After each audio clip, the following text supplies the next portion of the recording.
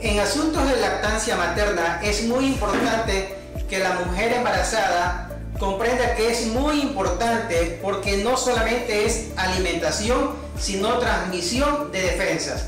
Y hasta aquí los organismos de salud han recomendado que la paciente debe de brindar esta leche materna a su bebé con todas las medidas obviamente de bioseguridad. Colocarse la mascarilla, limpiarse adecuadamente el pezón, limpiarse las manitos y obviamente otorgar esta alimentación a su bebé.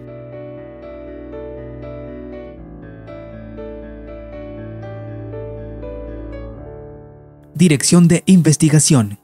UTMACH.